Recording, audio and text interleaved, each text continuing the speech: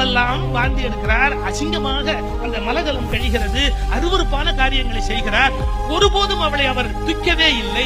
இந்த பெண்மணி கணவன் என்று வரித்ததால் அவனுக்கு செய்ய வேண்டிய பணிவிடைகள் எல்லாவற்றையும் முறையாக செய்து அவருக்கு எல்லா பணிவிடைகளையும் முகம் போடாமல் செய்து கொண்டிருக்கிறாள். கதை எப்படி போகிறது தெரியுமா? கிழவராக வந்தவர் சிவபெருமான்.